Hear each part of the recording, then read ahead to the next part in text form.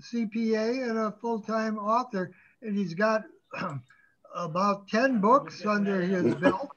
Not not quite 10, Dominic. Uh, we just published number six and working on number seven and eight. So it's it's Okay. they're steadily coming along. Complimenti. Uh, it's um, it's nice to uh, hear that you're continuing and um, putting out books. The latest book is uh, The Rook Takes the Queen. And uh, I don't have to ask you where you get your material. Uh, you uh, rip them from the headlines in Chicago. Yeah, this is a this is a political thriller, which is different from the other books that I've uh, written. Most other, all my other thrillers have been uh, uh, based in Chicago, uh, the Vatican. Two books ago was well, the last book before this one was based out of Detroit, and this one is uh, right out of the headlines from last summer. And it starts out with uh, the mayor of Chicago being assassinated in her backyard, and there um, there's a lot of uh, uh, commotion about as far as the detectives and people trying to find out who uh, who uh, assassinated the mayor. It's um, it's pretty much it's uh, pretty much a political thriller, and the reason why I- came up with the name "When the Rook Takes the Queen" is that we have uh, one of the characters, a, a former Grand Master who is now a Catholic priest. He is a political activist, and his name is Father Colin J. Fitzgerald. And he starts a weekly gambit with the organized crime boss, Anthony Tony de Matteo. And the whole reason how this all gets started is uh, the priest suggests at the uh, funeral of uh, Tony de Matteo's mother that uh, he come into the rectory and start playing chess with them on a weekly basis. So uh, that's how it all gets started. And of course, he suggests to uh, little Tony that the city of Chicago was run much better when the outfit was in charge 30 and 40 years ago. And he suggests that uh, little Tony take more of an active role in keeping peace in the city. And of course, the Chicago Tribune reporter Larry McKay is uh, trying to find out who you know was responsible for assassinating the mayor and how all this new violence has come about and how uh, the relationship between uh, Father Fitz and uh, little Tony is related. So that's how it all gets started.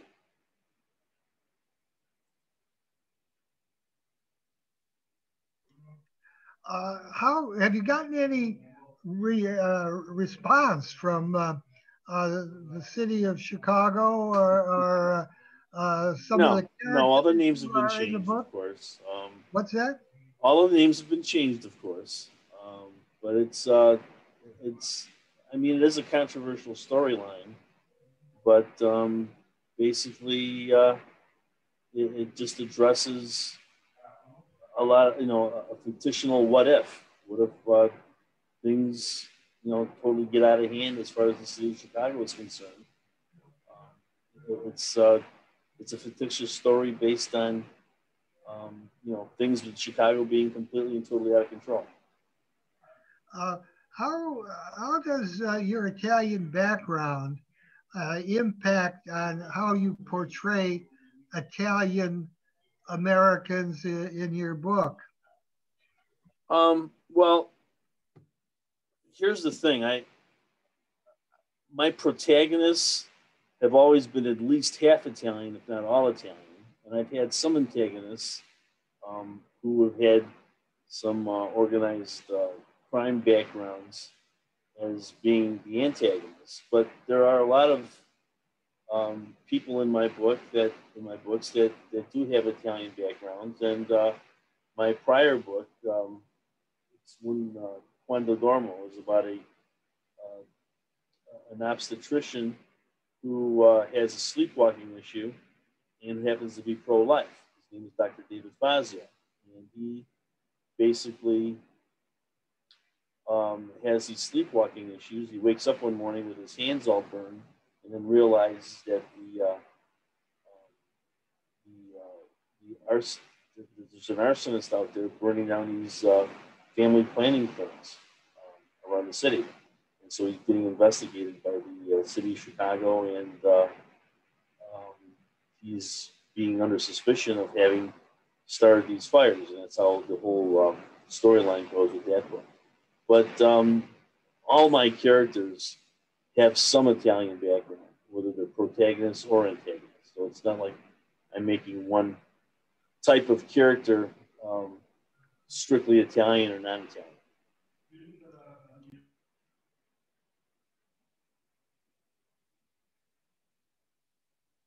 Oh, you're you're from Detroit. i Correct. Uh, as I, have been in this business for uh, 40 some years, maybe more, but I don't know much about the Detroit Italian community.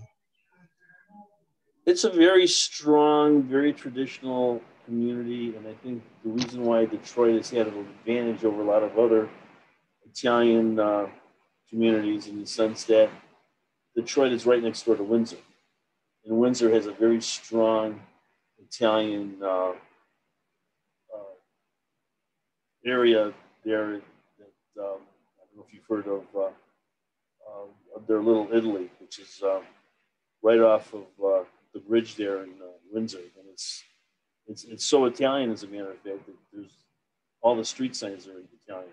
Everyone basically speaks Italian on the streets and so forth, and they have a lot of strong Italian memberships, a strong Italian contingent there in uh, Windsor, which of course has spilled over to Detroit for years. Back in the uh, uh, days of Prohibition, one of the biggest points of uh, of the bootlegging industry came from Windsor and the Italians and so forth, uh, you know, smuggling their, uh, their, their liquor over the Detroit River over to Detroit. And there's another uh, popular area near the Eastern Market in Detroit, which they called Cavalupo. What Cavalupo basically means is there's maybe 200 or 300 houses within a particular area of Detroit that basically have caves going from house to house. And these caves were used anytime somebody's house got raided over prohibition looking for uh, bootleg uh, and so forth. So there is a lot of Italian history in Detroit. And uh, there still is a very strong Italian contingent.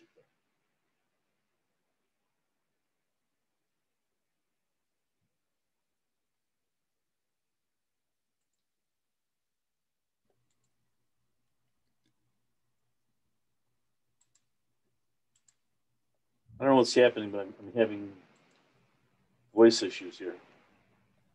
Yeah, uh, I think the uh, the Windsor um, case uh, illustrates the fact that uh, Canada, as a nation, has had a different policy toward immigrants over the long haul uh, than the U.S. Uh, the U.S. the idea was always to Americanize, maybe up into the 1970s, uh, did uh, uh, uh, we think in terms of our ethnic identity uh, so heavily.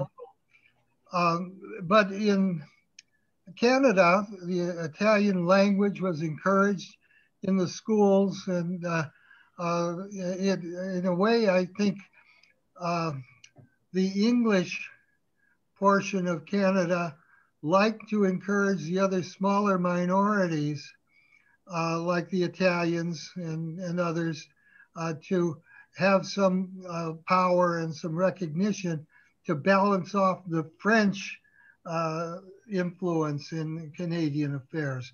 But uh, in any case, uh, Canadians, Canadian Italians seem to be much more attached to the language and to the culture uh, than Americans. But the Americans started earlier, and so maybe it's rubbing off. Uh, the uh, Italian identity is rubbing off at, at, this point, and in Canada it will eventually rub off as well. But uh, this is a very strong Italian contingent in, in Windsor, especially, and um, there was always a very strong Italian contingent in Toronto. Um, although I've heard that's somewhat uh, gone down in the last 10 years. Yeah. There's a very strong Italian. So uh, tell us a little bit about uh, your education and maybe you're growing up in the, uh, did you grow up in an Italian neighborhood? Yes, I did. I grew up in an Italian neighborhood in, in uh, the Italian suburbs. I went to a parochial high school where we, I'd say about 70% of our classmates were all basically Italian. Um, I learned the Italian language from my grandparents, uh, even though I'm first generation. Um, I spent a lot of weekends with my grandparents and learned their language and the culture from them, and of course from my parents as well. And um, just being from a, a first generation uh, Italian family, my father was a bricklayer, and I started laying brick with my father when he was 14, when I was 14, excuse me. And then uh, went on to, uh, to college, went to Central Michigan University, graduated from there with an accounting degree. And uh, I moved to Chicago took a chance and uh, got started here in Chicago. And I eventually opened up my own accounting firm.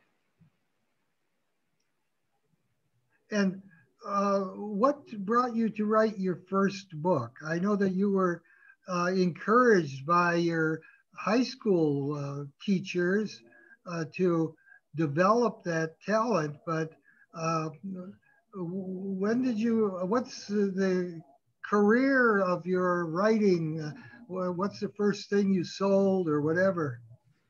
Well, I uh, I was a very talented writer in high school. I was encouraged by all my English teachers to pursue it after uh, going to high school there. And one of my English teachers basically said, if you do anything else with your life, you're pretty much wasting your time.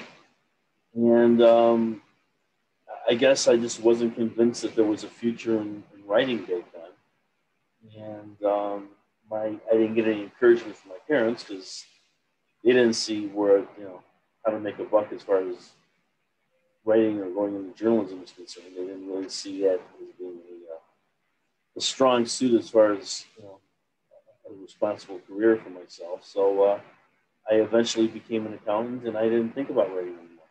Um, I think my writing came back within the last six or seven years. I had some personal problems and uh, and she got divorced. And um, I was uh, doing some therapy with a very dear therapist who basically suggested, said, "Hey, why don't you go back and you know pick up the pen again and start writing? See uh, see how it goes for them." And uh, I started taking some creative writing courses at uh, the College of DuPage, and I just realized I really enjoyed it. And now it's it's become a passion for me. I, I basically do accounting during the day, and then I'm I'm usually up in the middle of the night doing writing. So I'm I'm basically burning the candles at both ends. Oh, very interesting. Uh, and what about the, the sales of your book? You have a, a, real publisher and all that. I mean, most of us, the rest of us, uh, publish our own stuff, but. Um, I've got a, the publishing that I have is a very small publishing uh, company out of Michigan. They don't really pick up a lot of my publishing costs. Um, they, they help me with the designs and they help me with some of the distribution and the editing. But for the most part, I mean, they're not a really big publishing house. Basically, to be quite honest, I, am I'm, I'm more interested in, in, in, publishing my books because I just enjoy writing so much. It's not that I'm looking to, to make a lot of money or to, to sell a lot of books or to get my name out there. It's just I I really look forward to writing. I mean, I get up every morning at two three o'clock in the morning, and I, I start writing till about five or six or seven. And those four or five hours early in the morning just fly by. I've got these storylines that just you know come into my head that um, I, can't seem to get them out until I put them on paper, and I, I just really thoroughly enjoy the, you know my writing and uh, the storylines that I can put together. So it it hasn't been so much about book sales, although you know it's nice to get my name out there, but it's more or less the fact that I just truly love what I'm doing. I I love being an accountant and I also love being an author. So I've been lucky enough to find two passions that I really enjoy. Uh, now, do you type your uh, uh, writings on a computer, or do you? Yes, yes, yes. I, I I type everything. I type everything in Word and format it, and you know, do what I need to do to get it ready to for review and editing, and send that off, and uh, then I'm off working on the next story. How do you create a thriller? Uh, starts off with not being able to sleep at night. um, I think if I started getting a good night's sleep, I think my writing career would be over. I, it mm-hmm. starts out with just having a lot of bad dreams and a lot of a lot of uh, storylines that just uh, appear out of nowhere for me. I've, I've, been able to, uh, you know, put a lot of storylines together based on other books that I've read in years past, personal experiences in, uh, in business, uh, various media things that are going on. Uh, like uh, Rook Takes the Queen is a perfect example. That's all inspired from all the events that occurred in Chicago last summer. Yeah. Um, and it's just, uh, you know, a lot of different things that, uh, that, are just I've experienced in, in my life.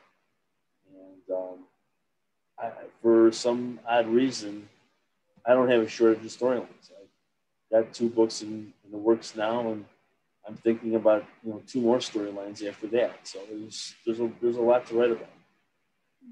Yeah, well, if, if uh, you rip things from the headlines, uh, I guess you can look forward to a, a lot of different story suggestions. And uh, I well, that's I, that's I, the first book that I've that I've actually used as a political thriller where I've ripped through the headlines.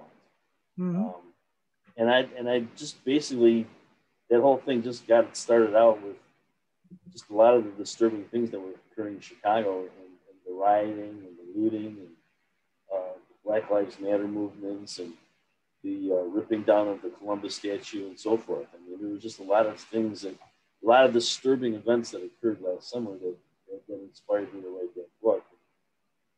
Uh, yeah. Normally, I don't I don't turn on the six o'clock news and look for ideas. Now, uh, are there any um, writers that you have read who have uh, had an impact on you? Um, I've uh, I've read a few books on Grisham um, years ago, but to be quite honest with you, I've probably been more interested in developing my own style, and I really didn't want to familiarize myself with the way other people write their novels or write their their headlines. And uh, it, it's I, I, I read a tremendous amount of books when I was in high school and college. I did a lot of reading uh, afterward, but uh, most lately I, am doing more writing than I am reading. I, I learned to develop my own style that way, and I thankfully had you know to the point to where I've got it to where I can develop a, a decent storyline and a decent book. Uh, yes. Um, uh, anything? Uh, tell us a little bit about the uh, the Vatican uh, novel. Uh, as you know, about 40 years ago, 45 years ago, when Pope John Paul I was discovered uh, dead in his sleep after 33 days being the pontiff at the Vatican. There were a lot of rumors that were floating around um, Rome that basically suggested that Pope John Paul I was poisoned. Um, that rumor has been rampant in uh, in Rome for the last 40 years, and I just remember reading something to the effect of a cardinal who suggested that he may have been responsible for poisoning Pope John Paul I. And that's how that storyline came about. So I, I basically picked up those two issues and decided to see where that storyline would go. That was probably my longest duration of writing as far as my novel goes. Was my first novel, of Bread and Wine. It took me almost two years to complete that. But um, after doing a lot of research and doing a lot of reading on the Vatican and, and John Paul I and studying the various cardinals that were involved in the Vatican Curia that uh, inspired me to put that uh, book together. It's, and it's, uh, it's gotten great reviews. Did you hang on, uh, hang out at the Vatican? Did you to get a sense of place? I've been to the Vatican several times. I've been to Italy several times, and uh, th- those experiences sort of helped me formulate the storyline. So I was there was a lot that I could draw on. Uh, well, you talked about reviews. Uh, uh, where have your books been reviewed? Uh, Titan Review has been a good one. Kirkus Reviews. Uh, Daily Herald has us a, given me a review on one of my books. Um, uh, yeah, uh, Kirkus. name it. Online reviews. There's there's about ten or twelve different review services that have yeah. given you know, giving them four and five star reviews in some of my uh, some of my novels. Yeah, well, Kirkus is important to, for uh, yes. uh, libraries. The librarians decide whether to order books based uh, somewhat on Kirkus. So that's uh, that, that's good news for for you and your. Uh, and, and so you you say you have uh, books in in mind for the future. Can you give us a little hint of what they might concern? Um, yeah. Uh, the book I'm currently working on now is a, uh, title is They Only Wear Black Hats. And that is about a frustrated um, Detroit detective who uh, you know, works hard to collar a criminal who committed a uh, heinous crime against two little children and uh, finds out that these the, the killer because there was no real evidence against him was basically set free and um, throughout his own personal investigations he finds out that there is a society that gets together um, once every three months and it consists of judges politicians uh, local statesmen and so forth that uh, get together and they plan uh, revenge uh, assassinations against those killers that get off, you know, for murder. That's how that book starts out. It's set in the city of Detroit. Um, I named it the Malizia Society. And, Malizia uh, Society. The Malizia Society, which is basically a society of malice. And uh, I did some research on that and found out that there was such a society, although they didn't use that name, back in Florence in 1539, which uh, basically stated that there were uh, people that did get together to uh, plan revenge on those killers who uh, were let off by uh, the judicial system. There's also a, there's also a movie that was put out um, about 30 years ago called The Star Chamber. And uh, there's something with a similar plot line to that. And that's based on a chamber of judges that got together back in England, um, back in the 18th century, who you know planned to uh, take revenge against these uh, various uh, various criminals who got away with uh, got away through the judicial system, who felt through the. Have you had any nibbles from uh, media makers or from filmmakers or TV? No, not yet. I've put together a couple of uh, scripts for my first and second book, and um, just still trying to peddle those out right now. Um, I, I think my problem is I is I'm, I'm, I'm kind of splitting myself between my accounting career and my writing career, and I think if I put more time into doing more marketing and more solicitations as far as my uh, books and my writings are concerned, I probably would have even more of a positive result. But so far, I'm I'm happy with where I'm at. So I'm I'm eventually thinking that uh, someone will discover or pick up or look at my books or look at my uh, scripts and decide to run with them. But we'll see. Um, Time will tell. Uh, are, uh, how much of your writing is autobiographical or uh, I think you have to ask my mother that question. Um, she thinks it's all about autobiography, so I don't know. Um, there, there's probably a little bit of me in all of my characters. Mm-hmm. I, have had people read my books and say that my DNA is written all over. So that could be. Uh, there, there's a little bit of me into all the protagonists and maybe even some of the antagonists.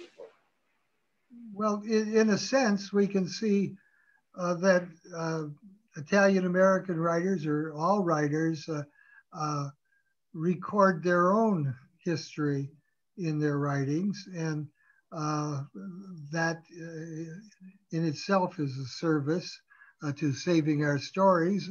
Uh, plus, telling a good story is always a, a, big plus too.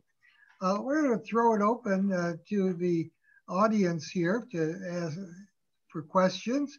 And if, if you have a question, unmute yourself and uh, and go ahead with it. Here are my questions for Ed. How much autobiography do you put in your novel? Well, I think we have to answer that. Okay. Where is Izzy's family from? Are you still connected with Ed? Okay. Um, my family is from the Lazio area. My mother was born in Rome, and my father is born in a little town near Rome. It's called Monte, near Monte Cassino. It's called Casavieri, which is uh, right in the Lazio area. And, that's where my mother and father were both born, and uh, I've been there several times, and um, there's a lot of Italian culture that I've learned from that area. Uh, we have a question from uh, Professor Carla Simonini. Hi, Carla. Hi, Carla. Hi, Ed. Oh, How I are get, you? I hear feedback when I talk. I don't like that. Um, I just want to uh, give a shout out to how wonderful your works are. I've got my copy here oh. of uh, of the the divine the demons of divine wrath. So I've read that one and I read the first one too. So no, thank um, you. I thank I want to uh, your ability to create a storyline and draw your reader in and the complexities of your plot um, especially with the, the, the, demons of the divine wrath. I just I found that so uh, compelling. I mean, it really makes. Thank I mean, I I think it's very cinematic too. I could see how this would make a fascinating film. So I'm hoping that you really do get. Is this one of the works that you have? Uh... No, I I did the first two. I did Bread and Wine, and I did a Rose from the Executioner. I did mm-hmm. the the scripts for those, mm-hmm. and I'm slowly finding the time to uh, do the scripts for the others. But they're very time consuming. I find I find script writing more complicated and more difficult than writing the actual book. Well, yeah, I think because you have to be able to visualize what's how it's going to translate to screen, and it's not the same as writing everything out from an omniscient perspective yeah, with the characters. Yeah. I can imagine that. So yeah, well, not only that, it's you're doing a lot of condensing. Mm-hmm. And you're just basically concentrating on dialogue, setting the, the uh, setting the area of how the uh, how the storyline will go. And it's mm-hmm. very difficult to uh, to do all that and put it into a script and then condense it and keep it down to 120 pages because I came to find out, every one page in a script equals one minute on film. So I mean, you don't want to sit through or two or more than like two, two or two and a half hour film. So basically, yeah. you're con- you're condensing and putting everything down to 120 to 150 pages. So that's complicated. I find that very complicated when you start writing that. Yeah, well, I can only imagine. Um, well, my question actually, well, aside from giving the shout out to everybody to to read these books and how how I've shared them with my father. My father loves thrillers, oh, and he he he has enjoyed them too. So, just want to put that out there. The other thing is, um, you talked about your family maybe not really encouraging you to go into writing, which is a common theme when you study any Italian American author, even the ones like Puzo himself. I remember he he was told that you know he'd be a chooch, you know, when his 1st mm-hmm. novel didn't have success, and it was only years later with The Godfather that he redeemed himself supposedly in the eyes of his family for at least for being able to provide financially.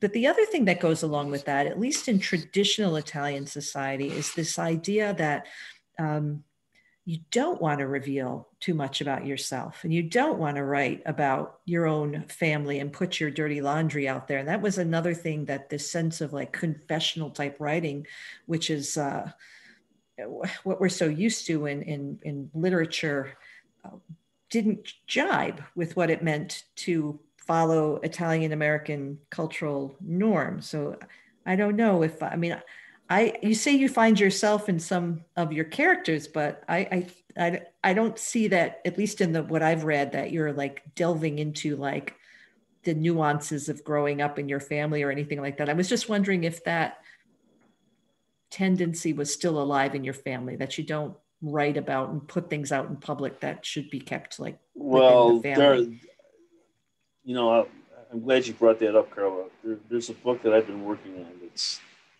i started about two and a half years ago and um, i've had i've had difficulty finishing.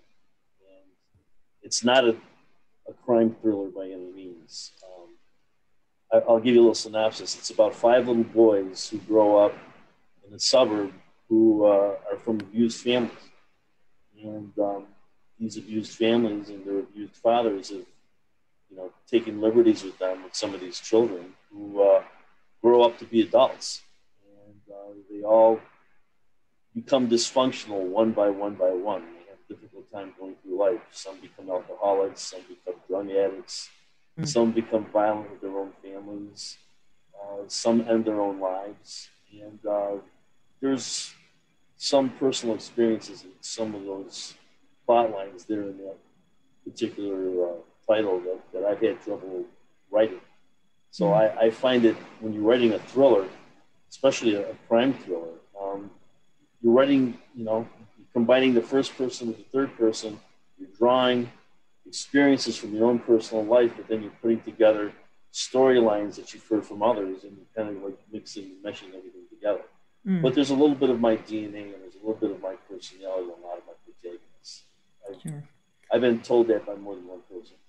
Yeah, that's great. I know. I just think, um, like with Puzo, his Fortunate Pilgrim, what a powerful, beautiful novel that is.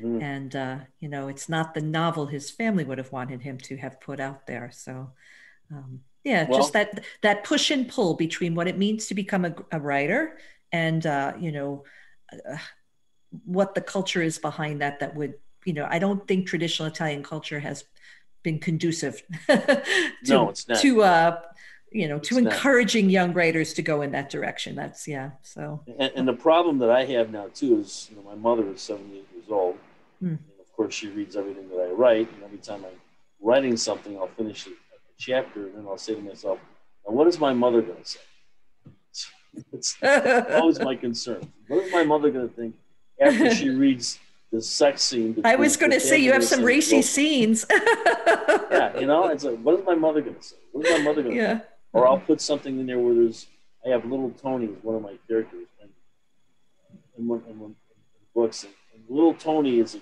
consistent swear fiend. That's all he mm. does is use the F word. And I, I say in my novels that little Tony probably wouldn't be able to talk if he couldn't use the F word when he was talking every time I, I put the dialogue in there, I think, oh, great, my mother's going to read this. What is she going to say? well, thank you for your work, and I, I'm going to keep sharing it. So. oh, thank you so much. I yeah. really appreciate your thoughts. Mary Maturi Gibson has a comment. Mary? Yes, I just commented uh, uh, uh, writing there that uh, I write about my family and put all the dirty laundry out there, and people seem to love you. it because they, they, write me and tell me they have had the same experiences and some of the same things that I talk about in my books, and they're just so pleased. But I'm pleased to hear you say that. Um, you don't care how much money you make and and and you're out there to write because you have something to say. And that's a true writer. And and you know i salute you because that is how people should write. You write because you have something to say. Not that you're going to become rich and famous. You have something to say and somebody else will see it and appreciate it. And that is what that's what makes it makes it so wonderful. Well it's the joy of enjoying what you do. Yeah it's a joy of of, of putting it on paper and, and constructing a plot and mm-hmm. putting together the nuances of a particular personality for a particular character, and mm-hmm. it, it's it's really enjoyable. I mean, I it is. I'm, you know, I'm I, my fourth book. I can't sleep at night. I, I'll get up in the middle of the night and start writing. When you write stuff in the middle of the night, I do yeah, that all the time. definitely. I, I, I tell people that if I ever get a good night's sleep, my writing career will be over. Right, right. Just a hint I work with Stratton Press. I love them. I think they're very good. Look into Stratton Press. They're very good. They've been very good to me. I, I, I can't say enough about them. Oh, okay. their, their prices are reasonable. You know, they help you out. They really do. They do your marketing, they do everything. And they wow. charge you very minimal fees, very minimal. Uh, Tony Artizzoni is out there in uh, the West Coast. Yeah, thank you. Um, it's wonderful. Uh, I'm delighted by this conversation, and it's uh, a pleasure to meet you and get to know your work. I have to confess that um, just I, this is the first time I've really heard of you when Dominic sent the uh, the message that you would be talking. But I've got your books on order. Oh, and I really great! Look forward over yeah. the next months, the next weeks and months. Uh, so uh, if you do lose some sleep reading them, I'm, I'm not responsible. I will. I probably well. I'll I'll do my best. Um, okay. I really enjoyed your your talk about about how much pleasure you take, and the idea that the reward is the work itself. Absolutely. Yeah. Absolutely. Um, and I think that that defines anyone's character when they can really look at doing something that they really truly enjoy and that they, you know, the, mm-hmm. the bottom line and checkbook and what goes into it is secondary. You really enjoy it. It's like my accounting profession. I mean, we you know, we pay our bills being accountants, but basically I've always said that accounting is a people profession. You want to be able to help people with their businesses or with their personal finances. Right. The satisfaction of doing that is worth a lot more than whatever check they write you at the end of the day. Mm-hmm. So I mean, it's it's it's a pleasure to be able to find something that you truly enjoy, uh, you look forward to, to doing on a daily basis. I also envy. Um, oh, thank you. I, I envy why, but thanks. That you the fact that you could write for more than more than just uh, two hours or three hours, and the apparent ease that uh, that you have. Uh, God, I think a lot of writers spend some time just looking at that blank page, not not knowing quite where to advance. Is this something that has to do perhaps with the genre? I mean, do you? I guess I'm asking. Do you plot scenes ahead? So do you know where it's going? Or do you discover as you go along, or a combination of both? If I told you how I sat down to write a book, you would probably have me locked up. Okay. I would what? You would probably have me locked up you would think No, no, no. I actually come up with the title. Okay. I find a title for I find an interesting title, and then I put together a plot line that would go good with the title. And from the title, I designed the characters and uh, I always try to start with a very shocking scene in the beginning of the book, and that's always written in third person. And then from there, I'll do a first a first person second chapter, and I try to keep all my chapters roughly about two thousand words apiece. Uh, this way, it keeps the, the, the, the uh, plot and the pace of the story going and it allows you to switch back and forth between the first and the third person and going from scene to scene and keeping the, uh, the pace of the book going. And I think that's really essential in a uh, in a thriller fiction novel. You want to keep that action going. You don't want to write these long chapters with four and five thousand words that tend to, you know, put a lull into the uh, into the uh, into the plot line. So I, I, that's the style that I've developed and I, I that's really what's worked for me. Um, plus, I, I've, I've got this um, this habit of ending all my chapters with one sentence, um, and that one sentence sort of pulls you into the next chapter. Yeah, I've always enjoyed doing that. I think that works. That is fantastic. So you've developed your own work method and your own style. Um, boy, I can't wait for these books to arrive. well, you'll you'll see. There's there's there's a there's a similarity in all the chapters, and um, each book has between forty to forty five chapters. I think one book's got fifty chapters. yeah. but they're all short chapters. And when you read short chapters, you know you're you're you're kind of falling into the pace. That's what keeps you involved in the plot.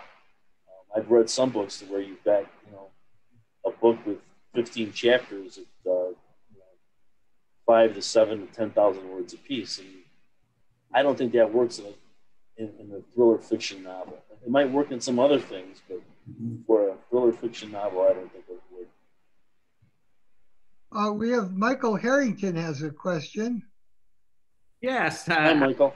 I was just uh, I was I was just interested. We were looking uh, at your books before the the call, and I noticed that you have a different protagonist in each book instead of you know like Dan Brown did, bringing back the same person. Right, right.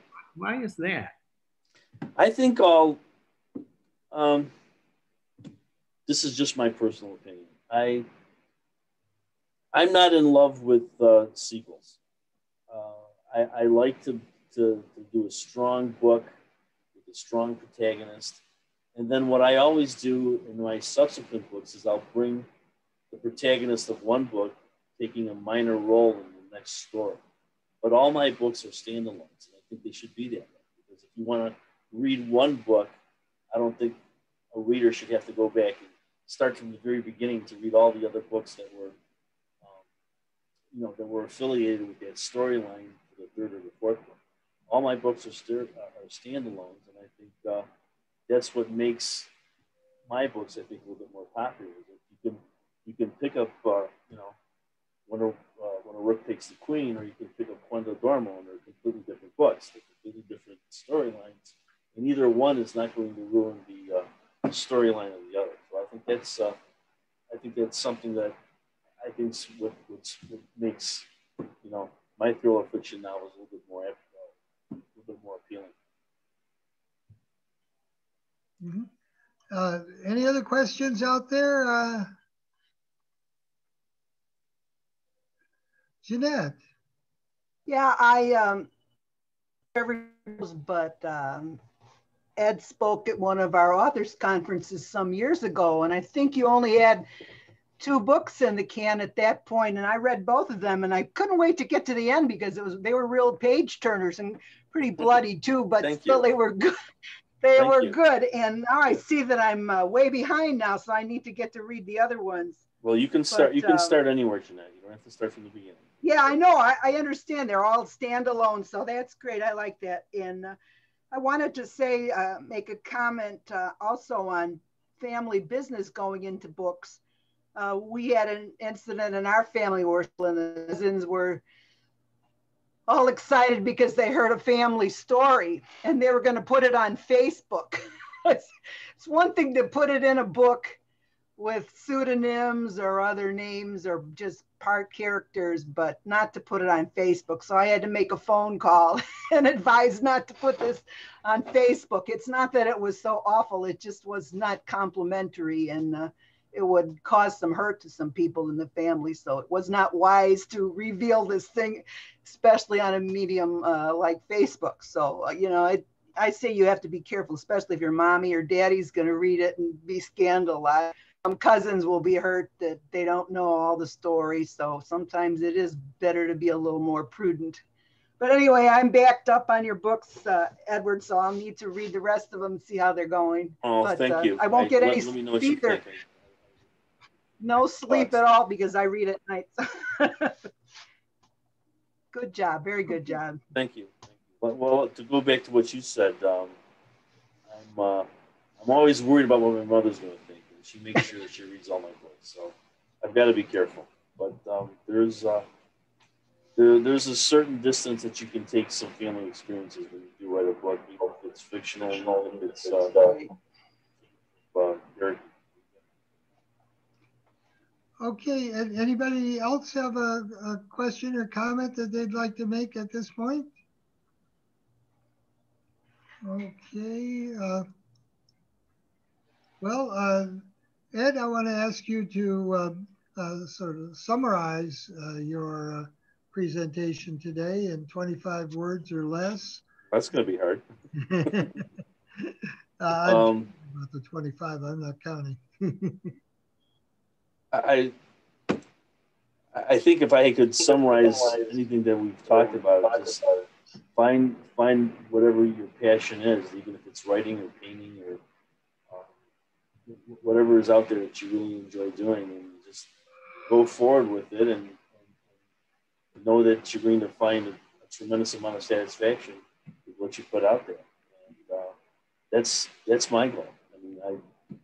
I if I only write a couple more books, or if I can write two dozen more books, to know that one single person out there enjoyed what I put on paper and what I enjoyed putting on. That that means the world to me, and I hope every other writer can go out and take that attitude someday as well.